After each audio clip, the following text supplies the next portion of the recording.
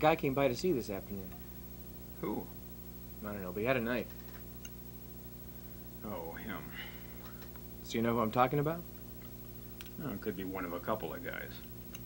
Well, do you want me to describe the knife? Big one, right? Big enough.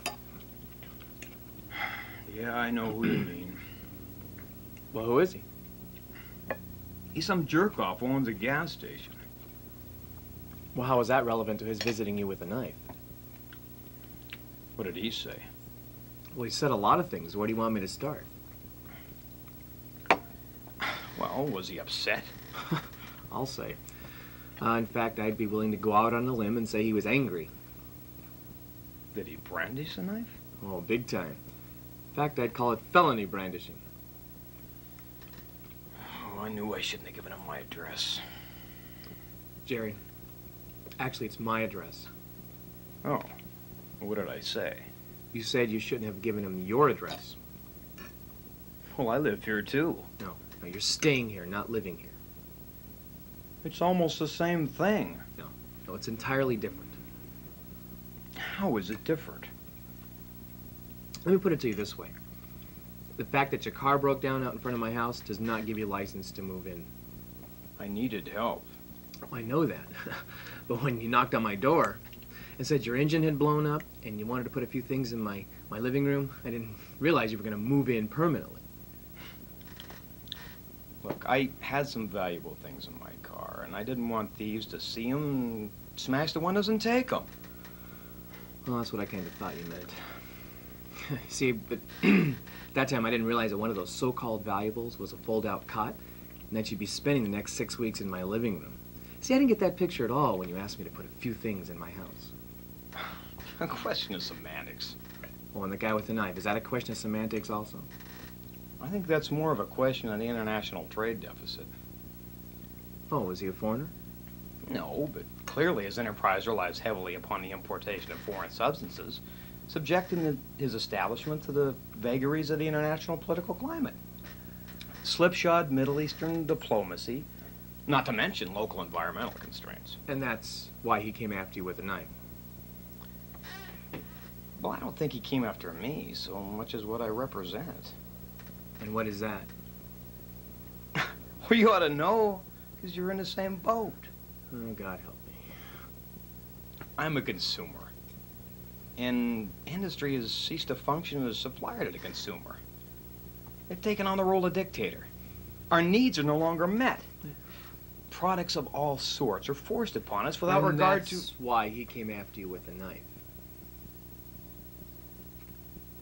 Well, pretty much, yes. I'd have to say so. He said you stole his car.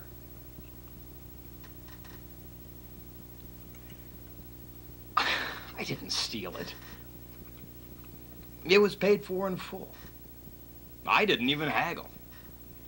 Said the check you gave him wasn't any good. Well, I didn't expect him to try to cash it the same day. He said he's been to the bank every day for the past six weeks.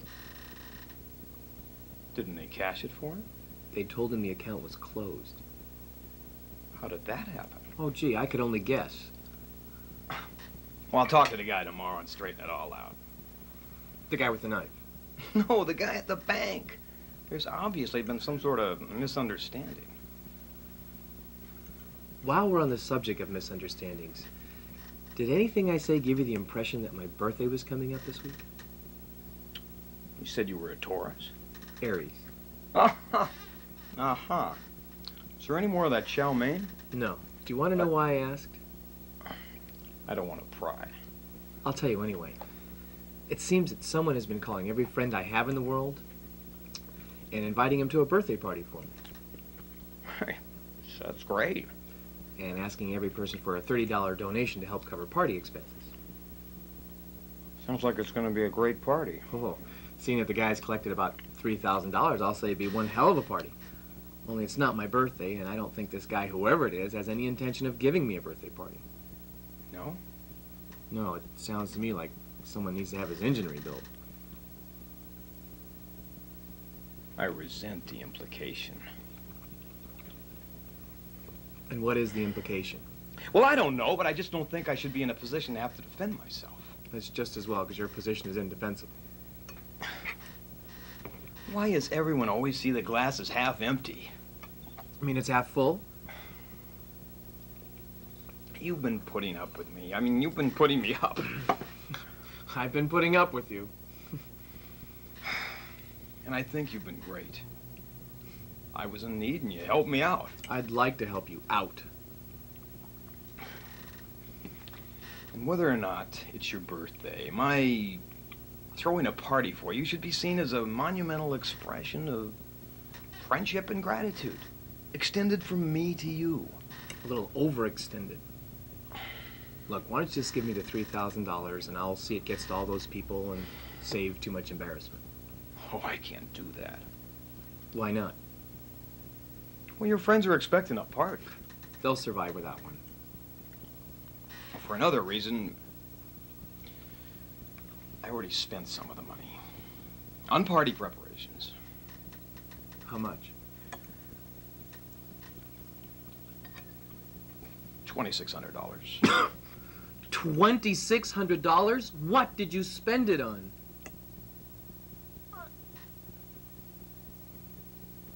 A new engine for my car.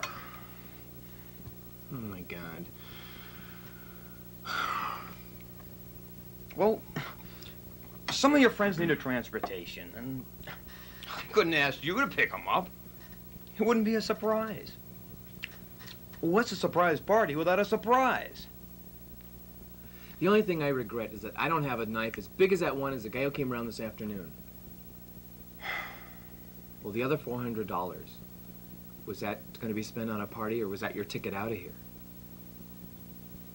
First of all, let me assure you one thing. Whether or not I stuck around for it, there would have been a party. Well, if your idea of a party is having people show up on my doorstep and not have... I ordered a keg of beer. They're gonna deliver it. Keg of beer. Forty bucks. And what about food? You know, this day and age, some people eat red meat, others don't. I can arrange for some chips.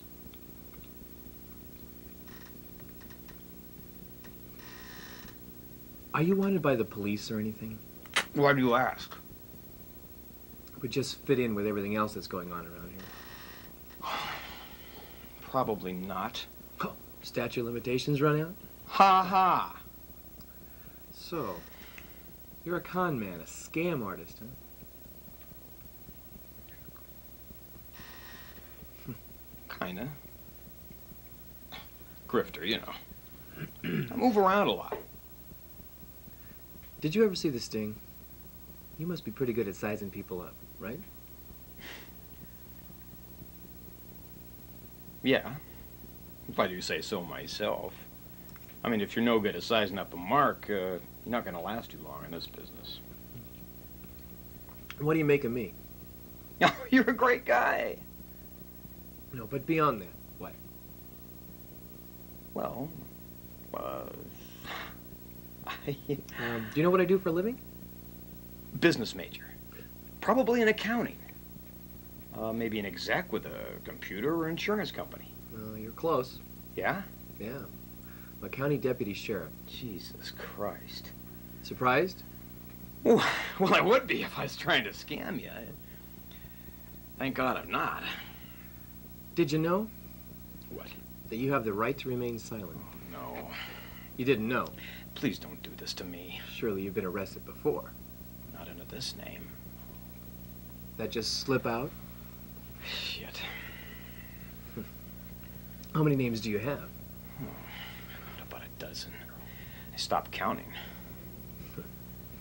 You know, you go to all that trouble, and you're still not making it. I wouldn't say that. You're shacked up in my living room, if that's your idea of affluence and abundance. Look at it this way. I meet a lot of good people. Kind folks. Folks who are willing to reach into their hearts. While you're reaching into their pockets? They can write it off. Oh, I can claim you as a dependent. No. They just tell their accountants it's money gone bad or something. Well, how many people have you ripped off? Not one. Not a single one. Let me put that another way. How many people have parted with money on your behalf? Oh, Hundreds. In fact, they'd probably put me in the Book of World Records if they kept track of such things. Just as well for you that they don't.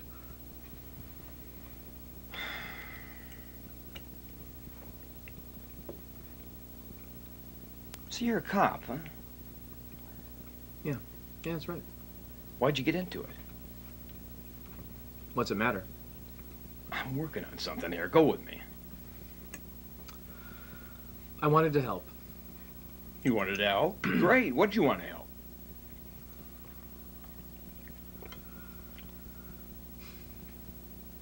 People.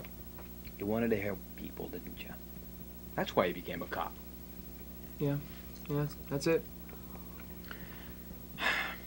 Well, here's your chance. Because I know it isn't easy being a cop. You try to help, but nothing seems to help. Am I right?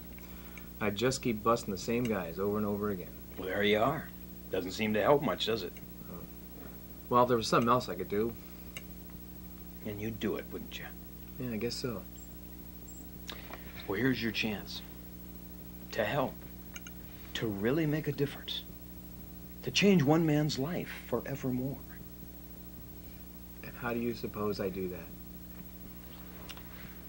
I'm closing in on my 43rd birthday, and I don't have to tell you what hell I could be. I'm 35. Well, one day you'll be 43, and then you'll know. What will I know? You'll know that at 43, man begins to face the reality of who he is as he heads into the second half of his life. Mm-hmm. And for me, Mhm. I don't want to make this personal, but I have to. As I stand before the mirror, I must tell you, I don't like what I see. Well, that's in your favor. I want to change. I must change. You can help me change. I could arrest you and put you behind bars, and that would. That would reinforce the pattern of behavior that has led me to this day. Yeah, but at least you'd be out of my living room and behind bars. You know what I need? What do you need?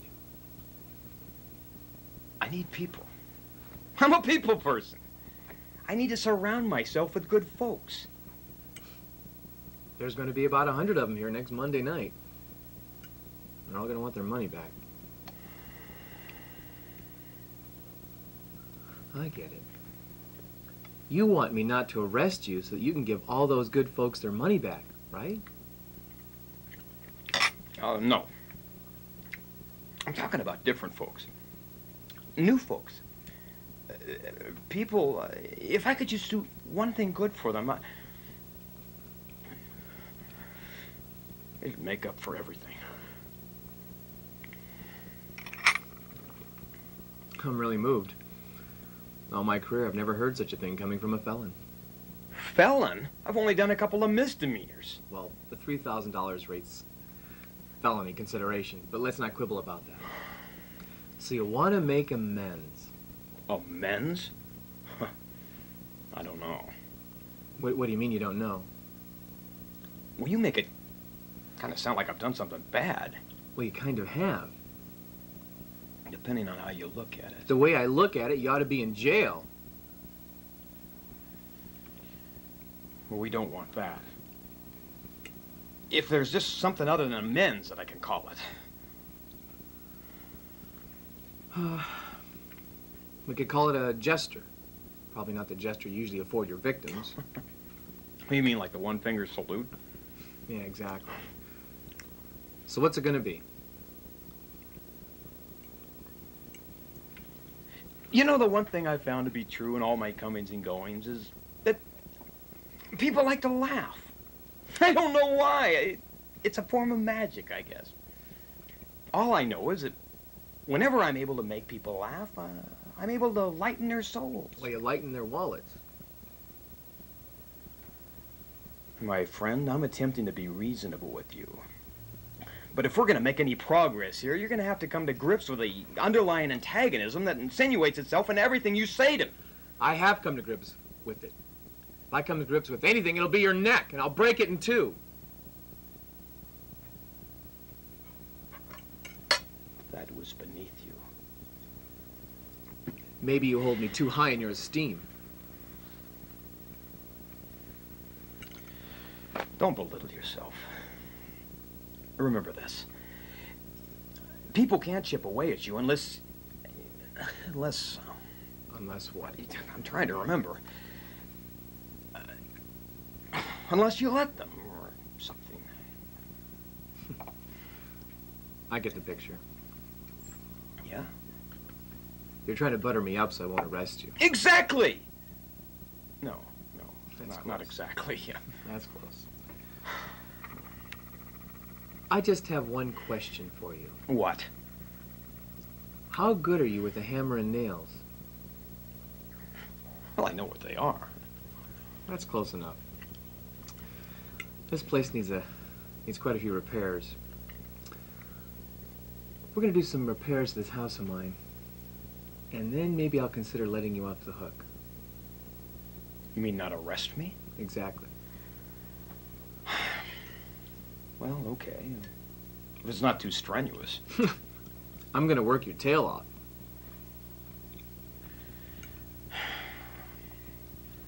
All right. Within limits. Now, how about this party? You take care of the repairs. I'll take care of the party. Great. Great! So when do we start? You can start first thing in the morning. No problem. I can handle that. I'll tell you what I'll do. Uh, right after dinner, I'll run down to the hardware stores and I'll pick up a few supplies. I can see we've got a lot of work to do ahead of us. You can say that again. Why don't you give me two, I'll make it $300 to cover the cost of supplies. What do you say?